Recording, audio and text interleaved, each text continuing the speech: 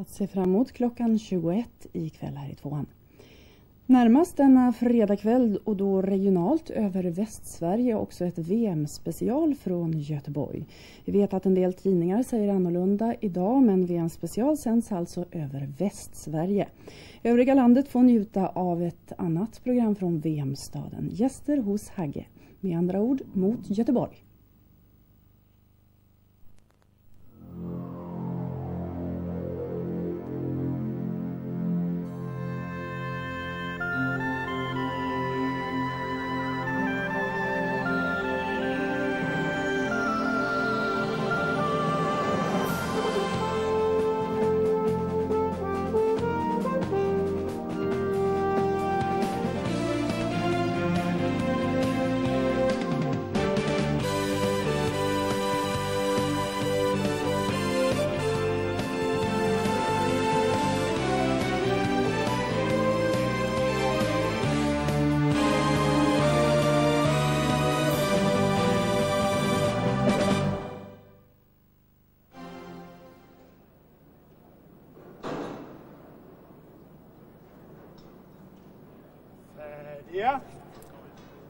Ja, det är kanske lite sent att börja träna nu, men för oss som var med på Dan Werns tid så är ingenting omöjligt. Eller hur ni ser? Dan Werns tid. Jag tycker det ser snarast ut som det var på olympiaden 1912 eller något sånt där. Var, var har du hittat de där prylarna? Det är precis det här vi hade på oss i slutet på 50-talet. Då såg vi ut så här. Alldeles ja. utmärkt. Det ser inte klokt ut. Det är så här man ska se ut förstås. Det här, det är grejer det. Det är så modernt och tjusigt så att det är en dräkt som nästan springer av sig själv. Du menar att du skulle springa fortare bara för det?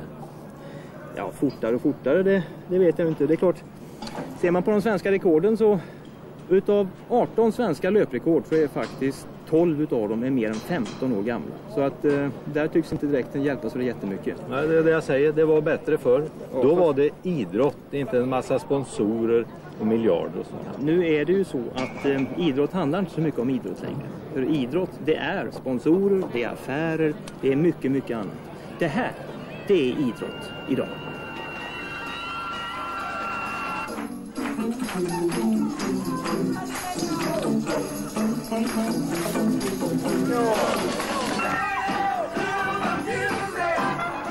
The World Championships in Athletics allows oh, 2,000 hours of TV all around the world after the 10 days. So it's a much more global investment.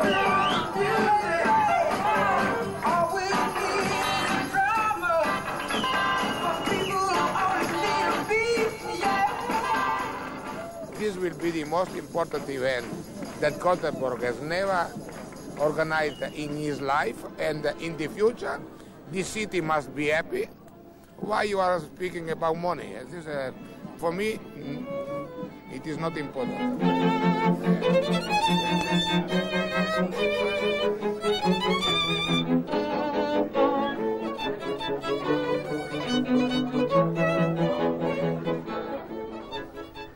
Fast en del om idrott ska det förstås handla också. Vi har idel framstående idrottskamrater med oss här i studion ikväll. Välkomna hit förresten till en hel timmes Västnytt VM special. Eh, låt mig gärna säga att eftersom programmet bara går över Västsverige så har vi inte text-tv med oss utan text-tv-tittarna hänvisar vi till kanal 1. Och eh, reprisen av Hagge kan man se imorgon lördag i TV2 klockan 14.20. Men nu till kvällens program. Ja, det blir en del om ekonomi. Eh, tjänar vi skattebetalare något på det här via stat och kommun? Vi ska titta bakom kulisserna på den jättelika VM-organisationen. Vi ska också prata lite moral. Kyrkan och idrotten har gått ihop för att samla in pengar. VM Aid. Men allra först så ska vi dra ner till stan för att eh, känna på stämningen på riktigt sätt. Och vi har eh, Jonas Ek med oss direkt från Avenyn. Det här är Kungsportsavenyn mitt i centrala Göteborg, en pulserande gata just nu. Eh, och så kommer det att förbli under hela VM. Eh, det är normalt full fart på stan här på Avenyn vid den här tiden på somrarna, men det är lite fullare fart just nu. Och eh, det är här så mycket av pengarna som ska tjänas in på VM, det är här de ska tas in. Och restaurangerna har eh, höjt priserna, dels direkta höjningar och dels har det handlat om att eh, ta bort billighetsalternativ som Dagens Rätt till exempel. Det här är någonting som har kritiserats av turistorganisationen i Göteborg. Eh, men det är förstås många som vill ta del av eh, de 1,3 miljarder kronor i ökad köpkraft som man räknar med att VM ska ge. Ja, Lars-Erik Eriksson är Köpmannaförbundets ordförande. Hur är det? Har, har era medlemmar höjt priserna också? Kostar det skjortan att köpa en skjorta idag? Nej, till skillnad från många andra så behåller butikerna normala priserna. Vi försöker se det här på lite sikt eh, och eh, kunna hoppas tjäna pengar när turisterna kommer tillbaka ett annat år. För att eh, med behållda priser så, och dåliga svenska valuta så är det ju naturligtvis frestande för många utländska turister här. Men vad betyder VM för handeln då? Som totalt sett för handeln som näringsgren betyder det egentligen eh, ganska lite, har rätt marginell betydelse eh, det kanske man möjligtvis kan undra över men, men det är ganska få butiker i ett begränsat område som är berörda. En del av dem går naturligtvis mycket bra för men för de, butiker, eh, de flesta butikerna för de stora volymerna så har det ingen större betydelse. Du har tidigare sagt att Gotia Cup är bättre för er. Vad, vad beror det på? Ja, Gotia Cup är ett utmärkt arrangemang eh, ur handelns synvinkel därför att de bor utspridda över hela stan och de är här ganska länge. De handlar mat i kvartersbutikerna, inte campingplatserna där de bor och så vidare och berikar handeln över hela Göteborg på ett annat sätt än vad ett sånt här arrangemang i centrala stan gör.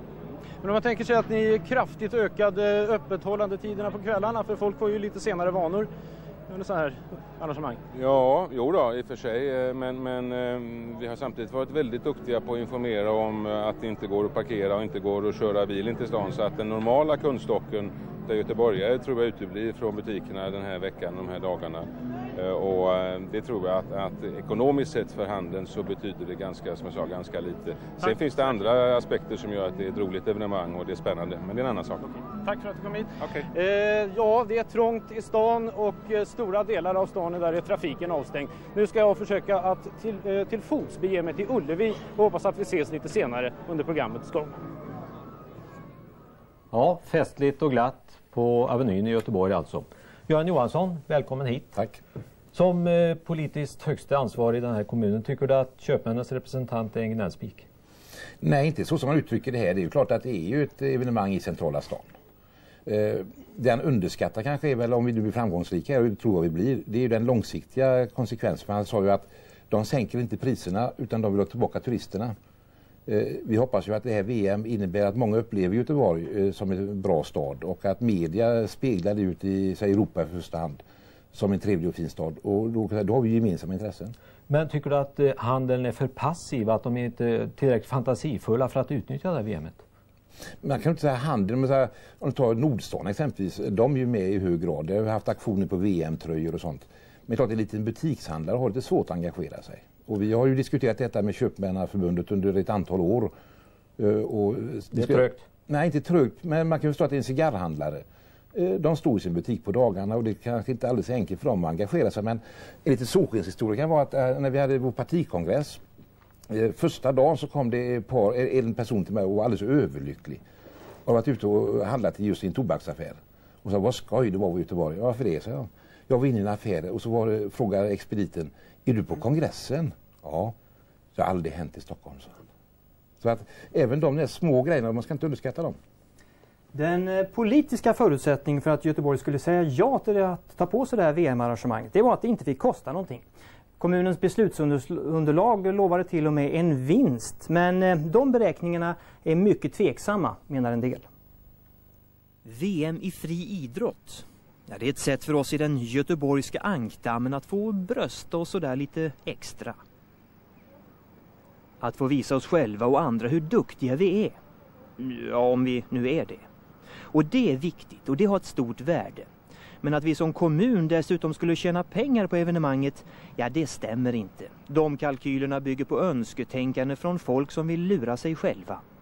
Det menar ekonomidoktorn Mikael Fransén som studerat kommunens beräkningar och kommit fram till att de faktiskt är felaktiga. De här kalkylerna gör oftast av politikerna själva eller den institution som ska försvaras, om det är ett museum, Bohuslän museum eller någonting.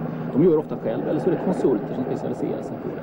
Det är ytterst sällan det så kallade eh, vetenskapsmän, alltså ekonomer som blandar sig i det här. Och gör de det, vilket har gjorts i rapporter från Finansdepartementet, då avfärdar de det som icke bra kalkyler, alltså icke, de är inte rätt gjorda på sätt. Ovanför våra huvuden fladdrar helikoptrarna i en sista sambandsträning inför det VM som enligt kommunens beräkningar ska ge 13 miljoner i överskott i kommunens kassa. Visserligen har 47 miljoner lagts på arenor och annat men 60 miljoner ska komma in i kommunalskatt från alla extraanställda under VM. Så överskott ska det bli. Åtminstone när de som vill ha VM gör beräkningarna. Så om man gör analysen för VM i friidrott så räknar man att alla de människor som nyanställs under den korta perioden har varit arbetslösa utan någon ersättning innan. Eller kommit till stan, flyttat till stan och inte betalat några skatteintäkter innan. De ska helst ha materialiserats plötsligt Precis, här och de nu upp alltså. och så ska de sen försvinna Ja, om precis. en vecka eller så. Precis.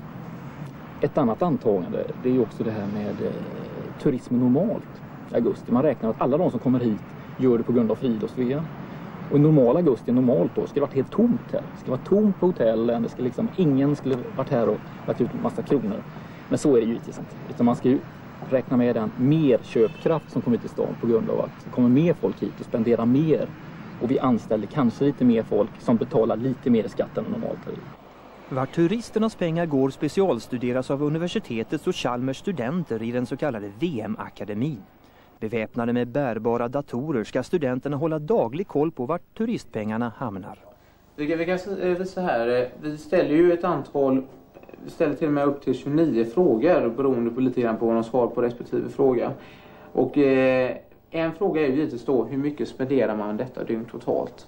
Och den är då uppdelad i grunden på vad man spenderar på hotell, vad man spenderar på transporten hit och hur mycket man då i sociala aktiviteter, man har inträden, exempelvis gå till VM och titta på spelen. Du kan alltså för varje dag egentligen kan du säga efter vad de besökarna i Göteborg, var de har lagt sina pengar. Exakt. Men kommunen tjänar ju inte några pengar på turisterna. Men vi blir ju kända utomlands. Vad vinner jag som invånare i Göteborg på att någon i USA känner till Göteborg? Så? Vad vinner jag som skattebetalare, som invånare här? Eh, Det uttalas inte ofta, utan man säger att Göteborg hamnar på kartan, punkt slut. Ja men är inte det jätteviktigt och det ger, ja, ja vad ger det? Ja, vad ger det? Nej, jag har försökt bena ut de effekterna då. Eh, dels är det, ofta är det lokaliseringsfaktorer. Du pratar jag för Göteborgs kommun, inte för företag som sponsrar, för de får avkastning och säljer mer produkter. Men jag pratar för skattebetalarna i Göteborgs kommun. Eh, det kan vara så, lokalisering av företag. Om Göteborg blir känt så skulle mer företag etablera sig i Göteborg. Vi, vi kommer fram med det här att detta är Nordens centrum och allt det där, eller vad det nu är.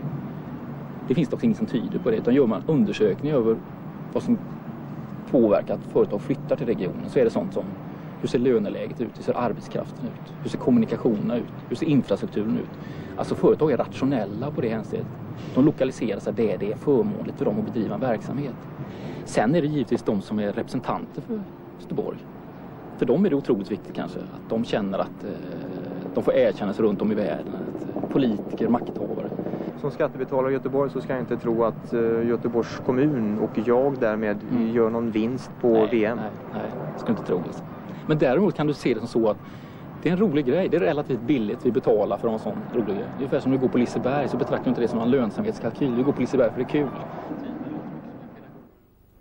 Ja, till studion har nu också Anders Fager kommit. Välkommen! Tackar. Anders är ekonomiskt ansvarig på VM-kommittén. Men vi håller oss kvar vid dig Göran. Ja, det låter ju lite märkligt. Har ni gått på en nit här när ni har litat på de här lite märkliga ekonomiska beräkningarna som säger att det ska bli vinst för kommunen? Nej, eh, vi har gjort eh, det man kan göra. Och vi har faktiskt långt innan VM dragit igång ett speciellt projekt på Handelshögskolan därför att det finns inget riktigt bra material för hur man beräknar turistiska effekter. Eh, Och det har inneburit att vi i Sverige inte har jobbat tillräckligt bra med turism. Eh, Och det, det som de här VM-gängen nu, nu gör, det är ju att ytterligare förbättra det materialet. Så att vi kan inte säga att vi på miljonen hamnat rätt. Men så nattsvart som han ser det, det begriper inte jag. Och när jag säger att göteborgare, vad har de för nytta av det här? Jag tror att det finns en väldigt koppling mellan segregation och arbetslöshet. Eh, alla kan inte bli datatekniker och jobba med ettor och nollor som rör sig i olika former. Utan eh, turistnäringen är en utav de mest snabbt växande näringarna i världen. Skapar otroligt med arbete. Vi måste ha de jobben också. Och då ska man se den här satsningen i kombination med att vi är kongressstad, vi har byggt kongresshallen, startat conventionbyrå.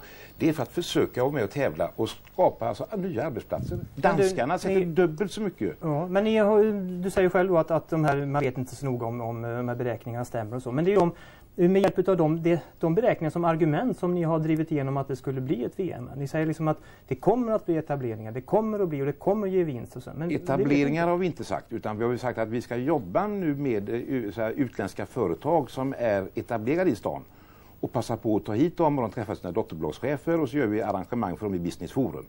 Men det är också för att företag i regionen ska träffas. Det är alltså en, en samlingspunkt som vi har skapat och där företagen har ställt upp och de kommer att ha luncher och vi kommer att ha föredrag. Så vi passar på att använda VM eh, till någonting som vi från början inte har räknat med utan som har vuxit fram. Och det är inte så att vi har hittat på det utan vi har skrivit till företagen långt, långt före VM och frågat om de tycker att vi ska göra något speciellt. Och då över 50 procent svarade att de såg gärna att vi gjorde ett ordentligt bra arrangemang för företagsamheten i Svenska Mässan. Och det är det vi gör. Det är inget som vi hittar på utan det är en efterfrågan. Men du Göran, du erkänner själv att beräkningarna här är kanske lite vaga. Det här är illa utforskat hela det här området. Vore det inte ärligare att säga så här, göteborgare, det vore, vi kanske inte tjänar något på det här, men vi eh, ordnar ändå en festvecka. Är inte det eh, politiskt gångbart? Nej, men man ska väl säga, om vi nu gör så bra beräkningar vi kan. Vi kan ju säga att vi går, back, eh, går ihop med 40 miljoner. Vi har gjort med dem, det underlag som finns, och det är inte vi som har gjort det, det är Handelshögskolan och utomstående som har jobbat och räknat med det här. Och därför har vi tagit fram det underlag som kommer fram.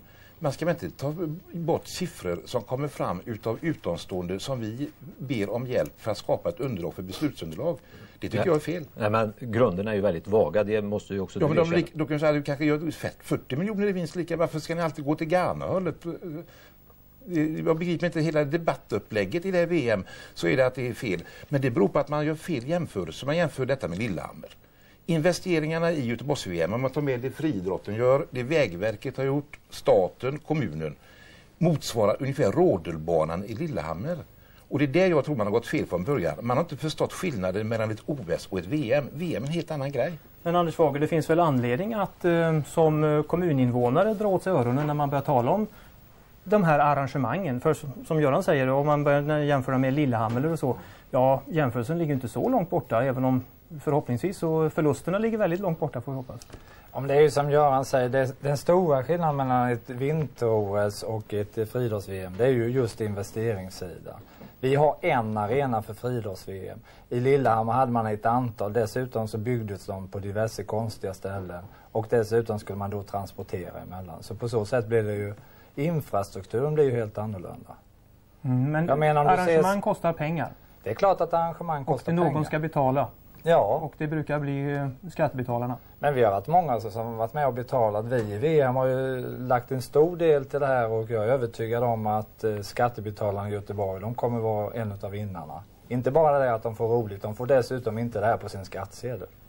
Jag tänkte på det här med eh, etableringen i alla fall. Visst har etablerings, möjligheten till etableringar framöver varit ett, ett tungt vägande argument för det här arrangemanget? Ja, vi har använt det som ett argument, men vi har inte en enda krona i kalkylen om att det ska komma nya.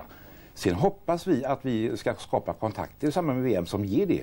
Men vi har inte räknat in en enda kalkyl, krona.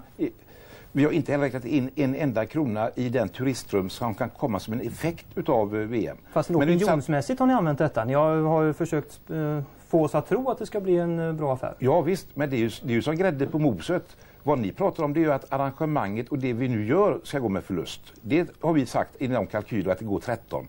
Nu tror inte jag att det blir 13, jag skulle tro att det blir 7-8 men det blir ingen förlust.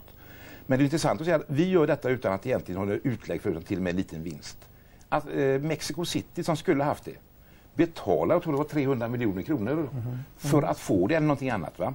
Då är det intressant, då gör vi detta ska garantera er, det är den sista gången ett VM arrangeras i någon stad i världen där inte den arrangerande staden får betala för att få det därför att effekterna är så stora. Jag är, bara för- jag är helt övertygad. Vi fortsätter. Vem som vinner på ett VM kan man alltså diskutera nästan hur mycket som helst. Men det är som sagt var ett utsökt tillfälle för företagen att hitta nya långsiktiga kunder. Men det är svårt att hitta sådana här företag. Vi hittade ett i Högsbo industriområde i Göteborg. Det är ett gammalt familjeföretag, Svenssons kartongfabrik, som fixar reklampelare och förpackningar för marknadsföring i wellpapp och kartong. VM i friidrott, ja där borde väl gå att hitta kunder, tänkte företagsledningen. Så det blev jakt på VM-general och sponsorer och några kontrakt. Men det som lagts ner nu, det är lärpengar. Ja, det är definitivt lärpengar. Vi har eh, lärt oss mycket. Vi har inte fått så mycket överskott i reella pengar men vårt kunnande är bra mycket större än tidigare. För nu under VM ska jakten på kunder fortsätta för kommande VM och OS. Det här är långsiktigt och förvåningen är stor över att så få företag utnyttjar VM på hemmaplan. Definitivt. Det finns ju en mängd branscher som borde utnyttjat eh, ett VM här i Göteborg på att göra olika aktiviteter. Det är inte bara hotell det gäller. Det finns ju massor med grejer man kan göra kring VM. Visst kan man satsa under själva VM och tjäna snabba pengar. Men få har satsat långsiktigt. På kartongfabriken hoppas man nu att ansträngningarna ska ge arbete till fler än de 18 som idag arbetar på företaget. Får vi eh, god respons på våra förslag och idéer i framtiden så kan det bli ett antal anställda fler här. Hur många, det vet ju ingen men säkerligen en tre, fyra stycken på sikt. Den här mannen har deltagit förr i VM i friidrott, ja för veteraner för några år sedan. Idag är hans intresse för VM ett annat. Som landstingsråd i Halland ska han se till att dryga miljonen insats ska locka företag till Halland. Det är det vi har tyckt i Halland att eftersom det är Göteborg och Sverige så ska vi andra också vara med och tala om att vi finns. Och eftersom vi nästan är på hemmaplan här i, i eh, Göteborg med Halland som närmsta granne, då ska vi vara med. Sen har vi halländska duktiga idrottsmän och kvinnor på startlinjen som vi kopplar positivt till den här satsningen att framtiden finns i Halland. Men att locka internationella företag till Halland i den här miljön är ju inte alldeles enkelt. Lokaliseringsbeslut tas ju på andra bevekelsegrunder än ett vackert landskap. Risken är ju att man som vanligt bara konkurrerar ut någon annan svensk landsända. Alltid den risken finns men det finns inget publikarrangemang som har så mycket internationella gäster som just det här VM. Och eh, det tror jag säkert ska locka en stor publik. Det är landstinget, kommunerna och länsstyrelsen i Halland som satsar gemensamt. Lite ovanligt att det offentliga ger sig med i den här leken. Man har eh, varit lite för försiktig och, och, och, kanske varit inne på det du sa att man kanske ska konkurrera med varandra. Men jag tycker inte det är fult att tala om att man har positiva saker att erbjuda. Att vi är duktiga i Halland, vi har en bra ekonomi och allt det där. Eh, det är ingen annan som talar om det. Och det skapas alla möjliga träffpunkter för att affärspartners ska få en chans att mötas. Business Forum på Svenska Mässan är en. På stan får storföretagens kunder chansen att sola sig i VM-glansen. Volvo har bjudit in närmare 3000, SKF runt 800 och så vidare. Det gäller att hålla det man har vid liv.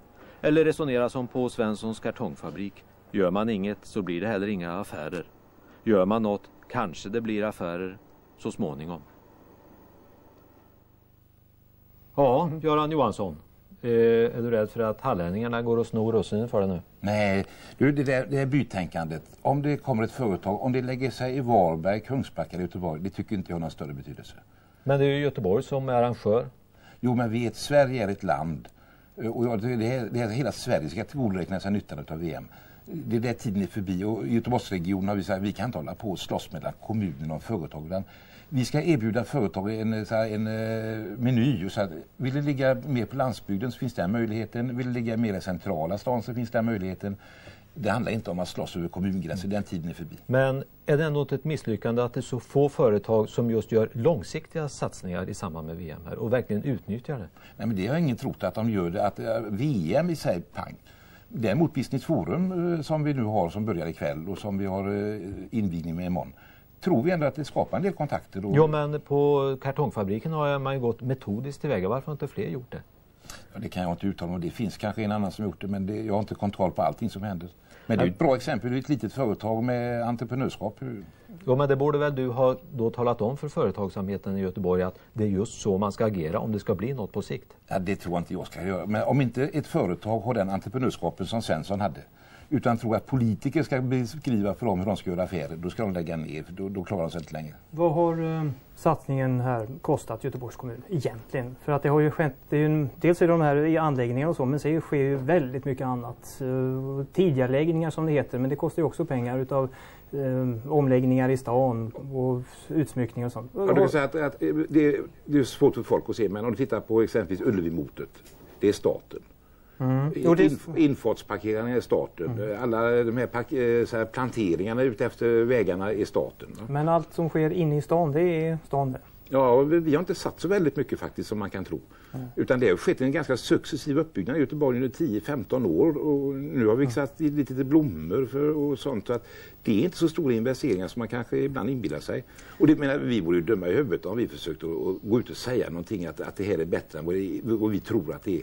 Det kommer ju en dag efter, då ska vi ju leva vi också. Mm. Statliga eller kommunala medel, men pengar har i alla fall satsats för att försköna staden. Och vad har vi då fått för slantarna? Tja, nog har Göteborg förändrats. Det började på senvåren. 50 000 blommor planterades i stan. Folk har redan börjat att bli väldigt intresserade av vad vi håller på med här egentligen. Och kommer fram och, och frågar vad det, vad, de här, vad det här betyder egentligen som vi håller på med här. Och, och jag brukar säga att det, det kan föreställa ett djur, va? en amöba eller något sånt där. Va? De här figuren vi har gjort här. Blir det snyggt då? Det kommer att bli jättebra. Det tror vi själva. Orange och gult och så. Det syns ju mycket mer än en sån. Nu kan Eva Glader, ansvarig för blomstersmyckningen, gå runt och titta på resultatet. Ja, jag har ju gjort så att jag har valt sådana blommor som inte är inne. Mycket för att kanske inspirera folk att använda andra sommarblommor än vad man normalt gör. Nu sitter vi ju framför en som är lite tageteslik men den är väldigt mycket tacksammare. Den heter Bidens, den har inget svenskt namn ännu ens en gång. Så att jag har försökt att använda sådana växter som, som kanske skulle som sagt var inspirera folk att använda lite annat. Och Kalle Lindgrens beskrivning av motivet, ja det stämmer. Ja, en amöba, en bläckfisk eller ja, det har ju den formen. Och det var för att den formen fick det för att platsen, eh, att man inte skulle, alltså så fort man gör fyrkanter och rundlar så går det ju åt väldigt mycket mer blommor. Här kunde man få ut eh, en större effekt med att göra ganska smala och långa band av blommor istället. Sparade vi in lite på det. Det handlar mycket om färgsättning, mönster och alltså gärna nya blommor när Eva Glader beskriver vad hon kunnat erbjuda för den miljon hon tilldelats. Och det här är omdömet hon vill ha efter VM. I år var det vackert, skulle jag tycka. om.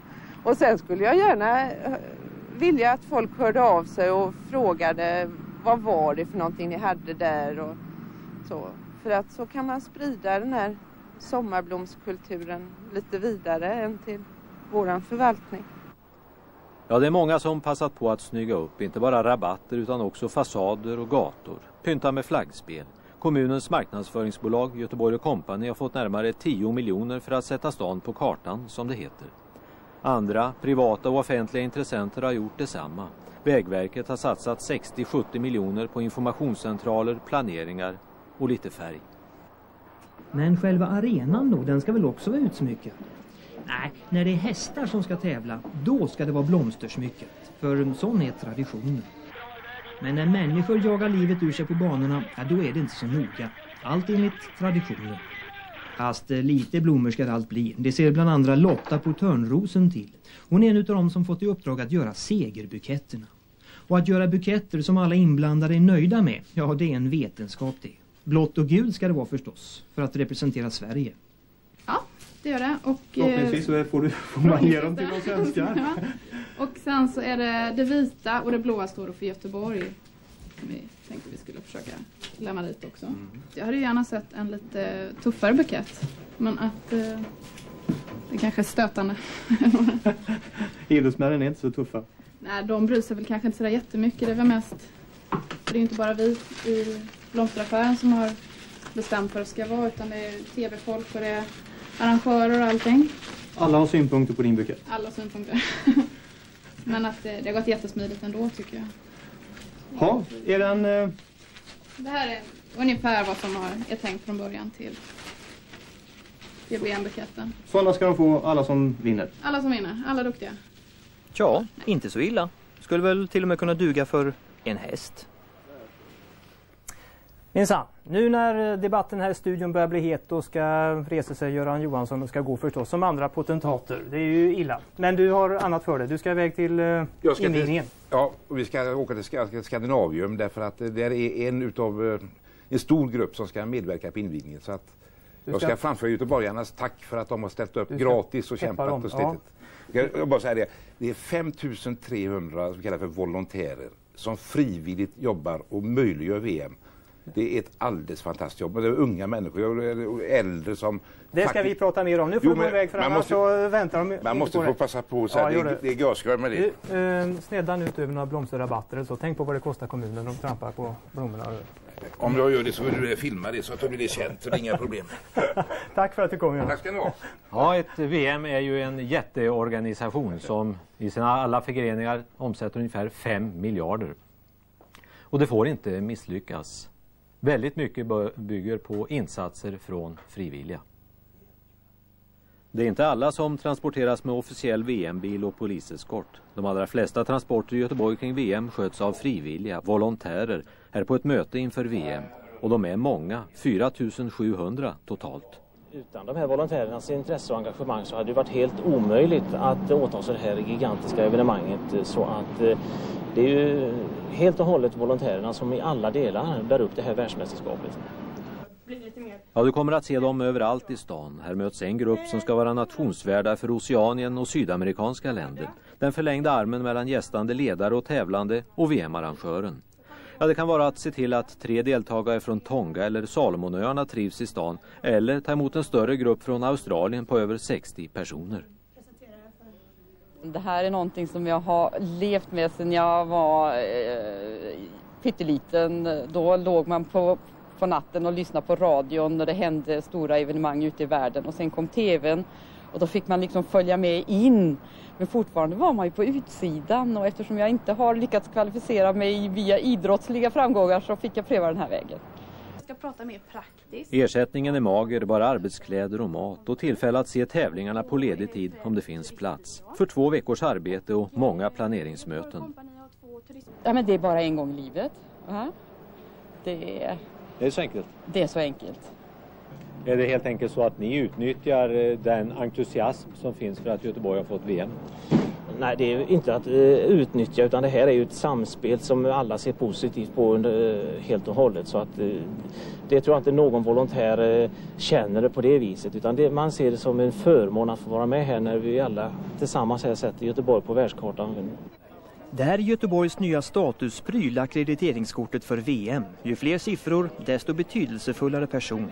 Och har man så här många siffror, ja då får man allt räkna med att ha journalister efter sig vart man går.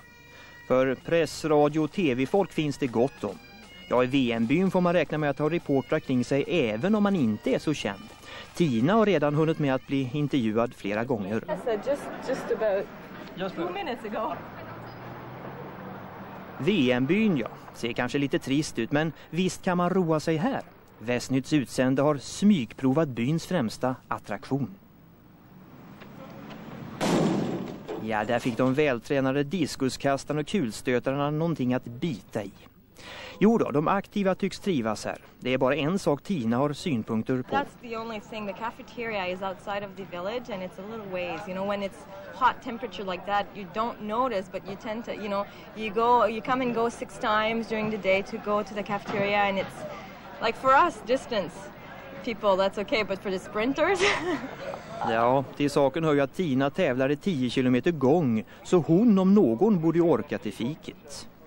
Ingenting får misslyckas, allt måste klaffa. Inte minst här inne på arenan. Här tränar de unga volontärerna korglyftning. Korgarna med idrottsmännens överdragskläder måste lyftas i exakt rätt ögonblick annars, ja, annars ser det ju inte så snyggt ut. Och flaggorna måste vara rätt. Inget kan reta en nation så som om flaggan eller nationalsången är fel. Flaggfabriken har dygnet runt jour under VM ifall det blir omvälvning i någon stat och flaggan plötsligt ändras. Som sagt, inget får misslyckas. Och det viktigaste som inte får misslyckas, maten. Fem ton pasta och lika mycket ris ska idrottarna sätta i sig. 2700 personer ska ha 250 olika matalternativ att välja på varje dag. Här är det riksdagens köksmästare Thomas Bergman som lassar pizza.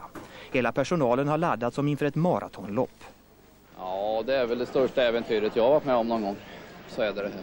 Men det kan inte vara helt lätt. Det är många olika krav som ställs på maten.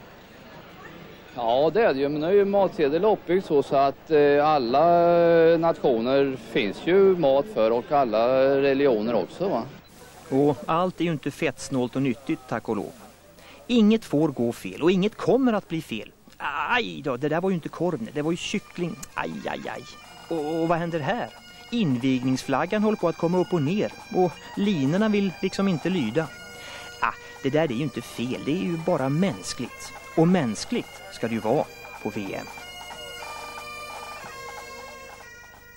Ja, Anders Fager, garanterar du nu att allting kommer att fungera? Ja, allt och allting. Det är klart att det kommer vara lite småmissar men det, jag tror inte det är någonting som varken du eller andra kommer märka. Men det har varit en hel del missar innan här nu. hade invigningen av Ullevi-läktaren var ingen succé. Du har överlämnandet av VM-byn, du har datakrångel nu i veckan här. Är det inte risk att sånt här fortsätter? Det hör till. Det är så att det är så mycket nervösa människor i sånt här evenemang och dessutom är det så att när det gäller det är då man liksom tar fram det här lilla extra. Vad är det? Datahaveri? Är det det värsta ni, som kan hända? Ja, det värsta, det, det vill jag väl inte säga. Det finns väl det som kan vara betydligt värre. Jag vill inte se någon München-massaker igen. Det är väl det absolut värsta. Men om vi tittar till maskinella så det, skulle det inte vara så kul om datorerna börjar krångla. Om vi ser på det ekonomiska. Ni hade räknat med 25 miljoner åtminstone i vinst. Mm. Men eh, nu knaprar man på de här miljonerna med krånglande kökstält och lite sånt där som gör att det blir någon vinst? Ja, det blir vinst. Eh, Frågan är hur stor det blir. Det är ju klart att det är lätt att säga att man får den och den vinsten. Precis som kommunen så är det rätt så svårt att göra en sån här prognos för ett sån här evenemang. Men vinst blir det och det är klart att det dyker upp kostnader även när jag sitter här, även om vi inte har börjat. Du, nu, måste, nu har ju Göran Johansson har ju stuckit iväg så nu kan du säga som det är. Eh, de, kommunen, verkar vara rätt eh, nöjda med de förhandlingar man har gjort med er. Men det måste ju å andra sidan betyda att, att eh, ni inte gjort så väl ifrån er i de här ekonomiska Ja, förhandlingarna. jag tycker nog att eh, vi har, i den frågan har vi varit lite för snälla. Ja. Kommunen har gjort eh, gentemot VM ett oerhört bra avtal, ja. Är det också så att eh, ni har ju två andra, IAF, det internationella friidrottsförbundet Mm. och ISL. Ja, Får ni få stryk där Spon också? sponsorsorganisationerna. Ja, som- jag menar, där har vi inte fått stryk. Vi sökte på de premisserna. Det finns mycket i det avtalet man kan tycka är underligt. Men vi sökte på de premisserna och fick det. Jag kan ta som exempel byn. Den kostar cirka 50 och kanske till och med drygt 50 miljoner. Och som ekonomer, det är ju rena vansinnet att bygga en by för 50 miljoner. När det finns på betydligt, ja vi kunde hitta billiga loge, logement och så vidare. Men vi tyckte att vi hade hittat ett koncept och det vill vi stå för ända ut. Och det är det som kommer göra att det här blir det bästa VM någonsin. Har det varit svårt att förhandla med de här organisationerna? Kulturkrockar inträffar naturligtvis. Eh, vi är svenskar och eh, här har det handlat om lite annat ibland. Ja, det kan du ju själv förstå. Vi har ett avtal med AF på 1700 sidor, alltså 1700 och eh, läsa de 1700 sidorna dessutom på ett främmande språk, dessutom juridiskt, så innebär det ju att, är klart ibland så blir det frågor som man eh, vill tolka på sitt, sitt sätt. Mhm. Nu är Anders Fager inte bara ekonom. Utan eh, Anders Fager är också en eh, gammal avdankad sprinter. Vi har några bilder här som vi inte kan undanhålla er. Nu kan ni få se på någonting. Så var det dags för 100 meter i motvind. 19-årige islänningen Stefansson banar 2 med 10,5 som personbästa. Leder länge efter smakstart, men Fager banar 3 hinner och vinner på svaga 10 och 9. Och så var det dags för 400 meter. Och där startade från innebanan Kurt Johansson, Ulf Nilsson, Anders Fager, Thomas Eriksson, SM-ettan Mikael Fredriksson och Kent Öhman. Och vi ska snart få se att in på upploppet leder Ulf Nilsson före Fager och Johansson. Båda i vitt och på yttern Fredriksson. Nilsson tar slut liksom vår film. Fager vinner på 47 och 7. Ja det är väl härligt va? Nilsson tar slut liksom vår film och så ser man inte hela upplösningen vilket Nej, är det du kommer med. Det verkar vara imponerande vara så duktig. Jag tycker jag låg alldeles för långt Åh, ja. Dåliga 10 och 9. Nu har vi också vi har fått flera gäster i studion. Eh, Jakob Hård, TV-sportens expertkommentator, har dykt upp här också. Välkommen. Tack. Nu har du chansen att ge igen till en kommentator. Du hörde sådana där svaga 10 och 9 på de här kols... e- elaka banorna och så har du sprang ut två lopp, vann två lopp på samma dag där. Det var inte jag som sa det. Nej, det var Janne Lorentzon men... Nej, det är faktiskt så att eh, her- herren vid sidan om mig är betydligt yngre så jag kan inte skälla mycket på honom. Det är väl nästan så att de som kommenterade på min tid, de finns väl knappt i livet längre. Ja, det var att ta i just det. Så länge så var det inte. Men är, det- är det svårt att hålla så att säga, en, en vettig balans där? Jag menar, man, man sitter då i någorlunda ombonade förhållanden och så kommenterar man de här stackarna som är ute och släpar och sliter. Är det lätt att man är för kritisk? Nej, jag tycker inte det. Jag, jag, jag tycker det går att hålla den balansen. Ja. Sen vet jag inte om de som de man Nej, bedömer det. tycker det alla Jag får gånger. väl Inte säga- alla gånger. På så sätt är det väl lite olyckligt man håller på med en idrott där man kan mäta hela tiden hur man, långt man är från världsrekordet. Mm. Och det är klart att eh, sitter man då som kommentator så är det ju hela tiden man mäter sig med det.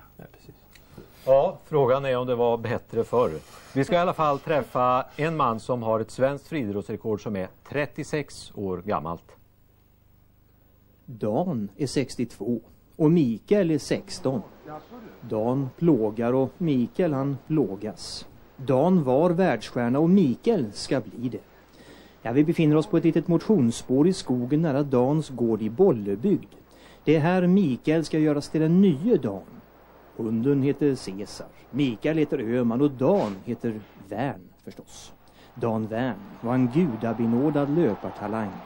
På tusen meter var han världens absolut snabbaste och hans svenska rekord och då också världsrekord på 2.17,8 som sattes för 36 år sedan en augustikväll i Karlstad är skandalöst nog fortfarande gällande svenskt rekord. Jo, det, det, det, det är synd. Det är synd att det inte är någon som kommer och, och tar det.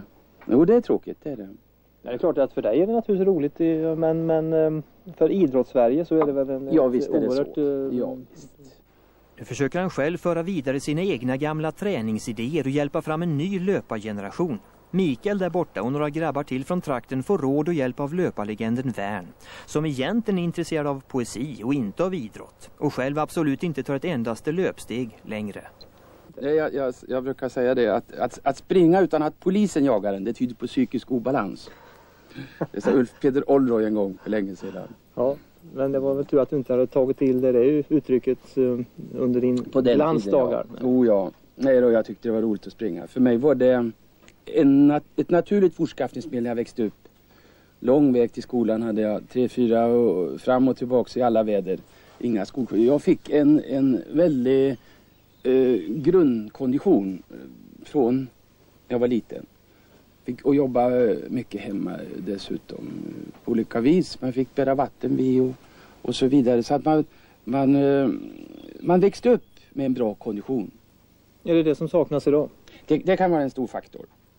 Vi, vi växte upp ungefär som de gör i, i Afrika idag. Långa skolvägar. eh, Vi fick motionera så otroligt och det får de idag också. Men eh, bara vägen till skolan skapar inga världsstjärnor. Då som nu är det hård träning som gäller. Intervall med ett tiotal snabba ruscher på mellan 200 och 400 meter och så kort vila däremellan. Effektivt och enkelt. Det ska vara enkelt. De komplicerade metoderna är han inte mycket för värn. Pojkarna ska springa som om de hade myror i byxorna. Pojkarna har frågat mig om att olika, olika eh, steglängd och armföring och men jag säger spring, spring som du känner för. Vi ändrar inte på någonting. För att den som springer, han har 31 blankt. Han, han springer ju naturligt, eh, så vi, vi, ändrar, vi aldrig ändrar på någonting. Jag är där, jag är ganska konstig. ja, jag tror man måste vara antingen psykiskt störd eller bara dum i huvudet för att hålla på så här. Och du är någonting mittemellan? Nej, jag är både och. Men eh, sen mitt stora mål det är att, eh, vinna OS eller något sånt. Slå världsrekord. Eh, man måste ju satsa högt. Sen om man klarar det eller inte, det är ju en annan sak. Men man måste ju satsa. Ja, så har vi träffat en sprinter och en medeldistansare, Dan Wern här. Så ska vi träffa Västsveriges hopp i VM på långdistans, maraton. 17-18 mil i veckan tränar hon Ingmarie Nilsson. Så Halmstadborna har haft många chanser i sommar att se henne springa i skogen, på sandstränder och på asfalterade gator i stan. Så kompletteras det hela med styrketräning på gymmet. En plågsam procedur för att få delta i ett friidrotts-VM. Jag tycker inte jag plågar mig. För mig är det... Jag tycker det är liksom... eh, Det är egentligen, löpningen är egentligen som livet i övrigt om man säger så. Det går upp och ner. Ibland är det roligt, ibland är det tråkigt. Va? Men för det mesta tycker jag det bara är roligt. Och det, det ger mig så mycket tillbaka så jag ser inte det som en plåga. Vad är det det ger dig tillbaka då? Eh, både fysiskt och psykiskt så mår jag väldigt bra. Det, det är roligt den här utmaningen, så hur bra kan jag bli egentligen? Eh, den här kicken som man får, inte så himla ofta, men det är det jag strävar efter hela tiden. Att när det flyter och allting fungerar jättebra och, och sådär. Men det hade jag inte fått om det inte hade gått dåligt ibland. Det får du göra med. Är det det här som är drivkraften att få den här kicken ibland? Räcker det som drivkraft? Nej, inte bara det. Det är väl en del av det hela då. Men eh, för min del är det viktigt att jag når framgång också. Att jag känner att jag utvecklas hela tiden. Ja, så inspirerar förstås resor och kamratskapet inom idrotten. Och resultaten har förbättrats snabbt. Personliga maratonrekordet rejält kapat i år. För två år sedan fanns inte en tanke på ett friidrotts-VM. Nej. Jag hade inte ens trott att jag skulle eh, kunna springa under tre timmar tror jag. Vad är det som har hänt? Bättre träning. Ehm, jag har varit eh, förståndig tror jag. Jag har tagit det ganska lugnt ändå. Även om det har gått fort för mig så tror jag att jag har ökat min träning ganska förståndigt för jag har varit peppa peppa hel och frisk hela tiden. Ehm, Ja, det är väl det. Ingmarie är sjuksköterska och har inte haft tid att arbeta heltid i sommar och det behövs inkomster för stöd ekonomiskt men framförallt moraliskt har det varit dåligt ställt med från klubben Ullevi och Friidrottsförbundet. Jag tycker det är sorgligt. Inte bara för min egen skull utan eh, överhuvudtaget så tycker jag att långlöpartjejerna har fått eh, väldigt dåligt stöd faktiskt. Och det är väl för att de helt enkelt inte har trott på oss.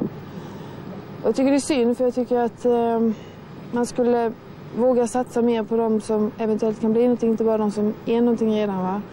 Det behöver inte vara mycket, det är inte pengar och sånt där jag är ute efter utan det är just att någon som kanske ringer och frågar hur går det, liksom, skulle vilja hänga med på det här om det är någon tävling eller något sånt men man har ingenting liksom. Och resultatet på maratonloppet imorgon då? Jag vet inte. Eh, Jag är väldigt nöjd som, jag är, som det är redan nu. Jag tycker jag har gjort bra. Jag har tagit tre SM-guld, ett SM-silver. Jag har kvalat till VM. Jag var den första tjejen som gjorde det. Jag är, jag är nöjd med detta året så som det har blivit. Liksom. Och eh, förbättrat mitt pass med sex minuter nästan på maran. Jag är nöjd. Och liksom, därmed inte sagt att jag inte kommer att kämpa men jag kommer göra mitt bästa och mer kan jag inte säga. Ja Jakob, är det här en typisk svensk inställning? Jag är nöjd bara för att jag har kommit med.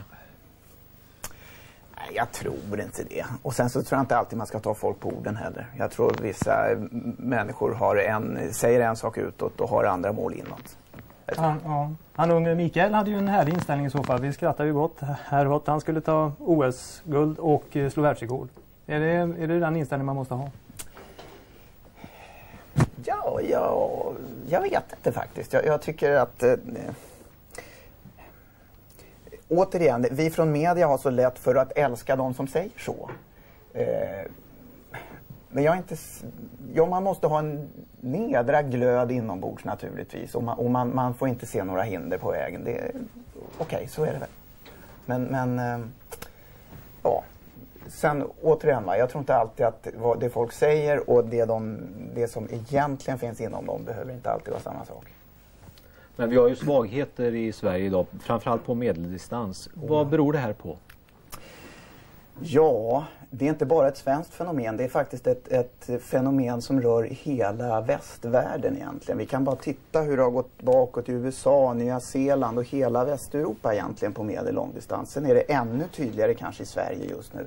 Och jag tror att det delvis hänger samman med det Dan Wern sa. Vi, vi, vi lever i ett samhälle där man inte förflyttar sig till fots på samma sätt från tidig ålder som vi gjorde förut och som man gör i, i eh, de länder där man är bra i löpning idag. Det är det ena. Och sen så tror jag också att konkurrensen från andra idrotter, alltså att det, det, det som är inne nu så att säga, det är inte idrotter där man måste träna väldigt mycket, tämligen monotont och ha målen väldigt långt fram i tiden. Utan det ska gå fort, det ska vara lite läckert och jag ska få utdelning på det jag gör ganska snabbt. Va? Och det passar inte in på löpning. Men är det också så att Friidrottsförbundet tar för illa hand om de talanger som ändå finns? Jag vet inte riktigt om man ska skylla på Friidrottsförbundet. Jag, jag tycker att man måste rycka upp det här ända ner från klubbarna. Jag tycker alltså att, att och det är kanske lite paradoxalt när vi talar om att det fattas en elit. Jag tror att det har- har blivit lite grann någon, någon slags elitinriktning i klubbarna som lite grann har tagit död på det sociala livet och bredden i de svenska friidrottsklubbarna som ändå behövs för att få fram en topp till slut. Det har varit så, man har redan från början snackat om att man måste träna så oändligt mycket och äta rätt och gå och lägga sig tidigt på kvällarna och bla bla bla. Så jag tror man skrämmer bort en massa folk som Anders, kunde vara med. Ja, hur kan man göra från, från förbundet i så fall för att, att få fram den här glädjen och, och gnistan igen? Jag tycker precis som Jakob, det- Friidrottsförbundet äger inga idrottsmän och det gör inte klubbarna heller men det är i klubbarna verksamheten bedrivs och det är där man ska då få fart på verksamheten. Och Friidrottsförbundet kan då ha en verksamhet för detta som stimulerar till det, det vill säga satsa på ungdomsverksamhet, satsa på en utbildningsverksamhet och ha en bred bas och därifrån kommer sen toppen. Är det slut på eh, de eller västerländska framgångarna i så fall inom medel och långdistans? För att vi har det för bra? Ja, det, det, jag, jag tycker precis som eh, även har framförts här tidigare att det största problemet är automatiseringen. Jag skulle vilja, alltså, tänk om man kunde gå tillbaka och säga jag är inte lastgammal men jag garanterar att det skulle funnits en metermätare i mina ben jämfört med dagens ungdomar. Så hade det varit en oerhörd skillnad, just den här grundträningen som många saknar.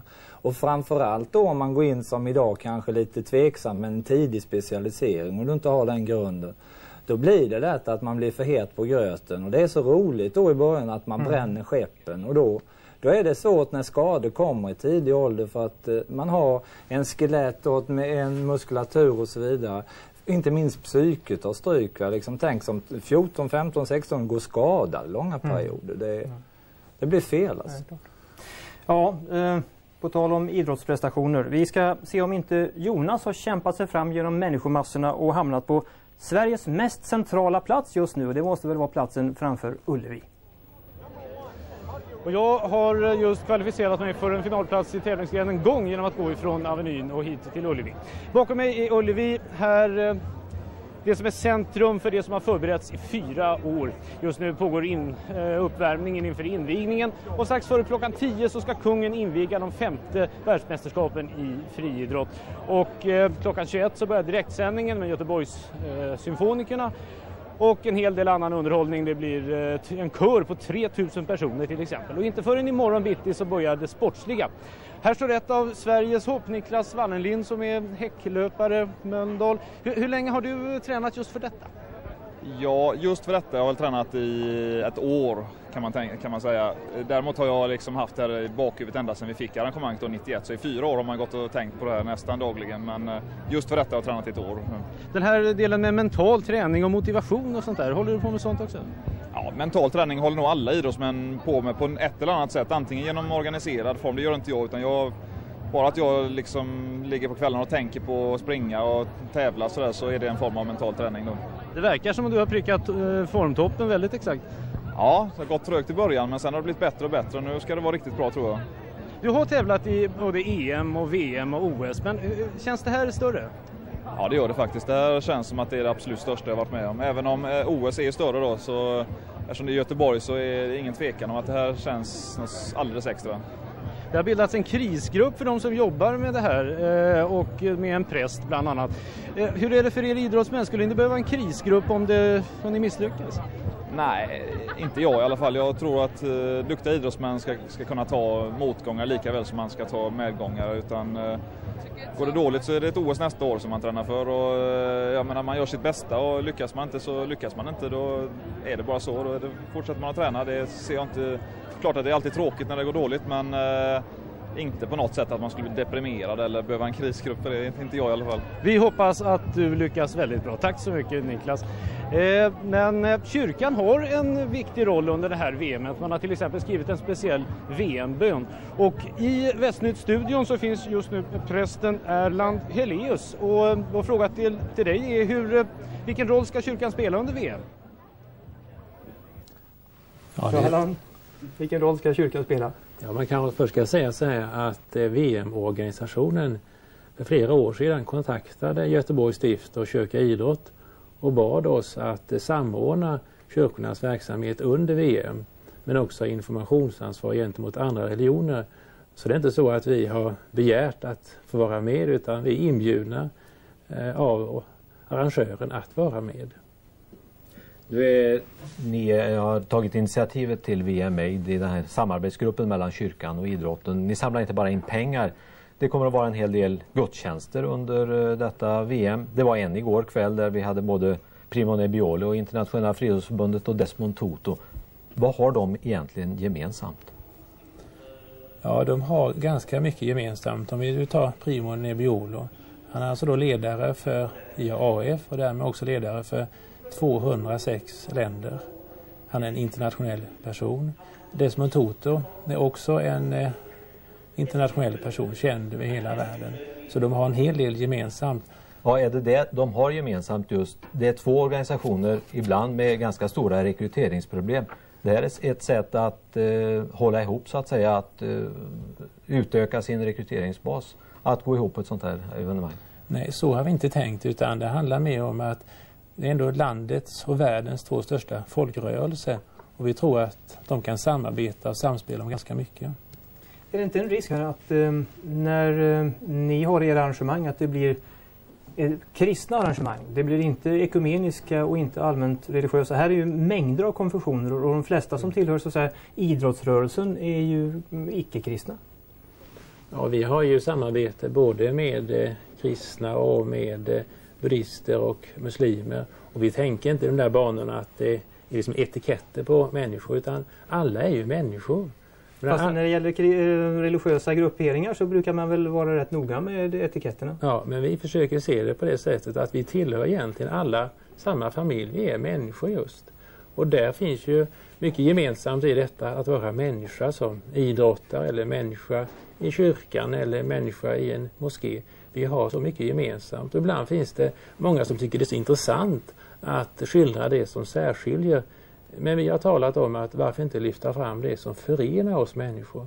Och där har idrottsrörelsen oerhört stor betydelse Mm. att föra ihop människor. Och kyrkan har också liknande uppdrag just att förena människor. Det, det finns ju vissa risker här med eh, så att, säga, att förenas för mycket med idrottsrörelsen. Idrottsrörelsen har ju eh, lite skamfilat ry- ryktes eh, på, på, på sina håll. De står i, Ibland så får man symbolisera dem det här med, med en, en storvulenhet och inte precis den här... eh, Det är, inget fattigdomsideal som är det drivande bakom idrottsrörelsen.